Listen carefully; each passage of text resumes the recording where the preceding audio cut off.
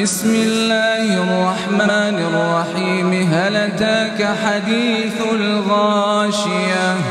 وجوه يومئذ خاشعة. عاملة ناصبة. تصلى نارا حامية. تسقى من عين نانية. ليس لهم طعام إلا من ضريع يسمن ولا يغني من جوع.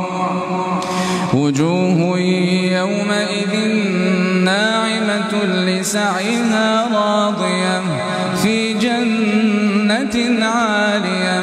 لا تسمع فيها لاغية فيها عين جارية فيها سرر مرفوعة.